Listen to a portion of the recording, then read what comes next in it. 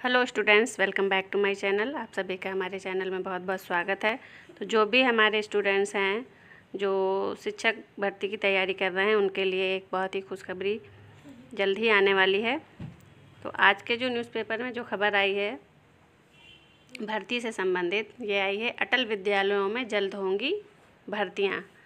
तो अटल विद्यालय क्या हैं? जैसे नवोदय विद्यालय की तर्ज पर ही राज्य सरकार हर ज़िले में एक एक अटल विद्यालयों का अटल विद्यालयों को खोलने जा रही है।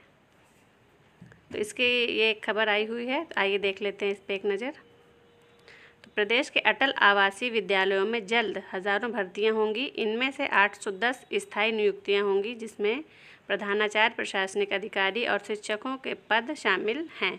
बाकी तमाम पदों पर बहाली आउटसोर्सिंग के माध्यम से की जाएगी। राज्य सरकार ने इन पदों को स्वीकृति दे दी है। राज्य सरकार नवोदय विद्यालयों की तर्ज पर हर मंडल में अटल आवासीय विद्यालय खोलने जा रही है। इन स्कूलों में श्रम विभाग के पंजीकृत श्रमिकों के बच्चों को मुफ़्त शिक्षा मिलेगी। मुख्यमंत्री योगी आदित्यनाथ की प्राथमिकता वाले इस प्रोजेक्ट के लिए स्टाफ की तैनाती संबंधी प्रस्ताव को भी राज्य सरकार ने मंजूरी दे दी है।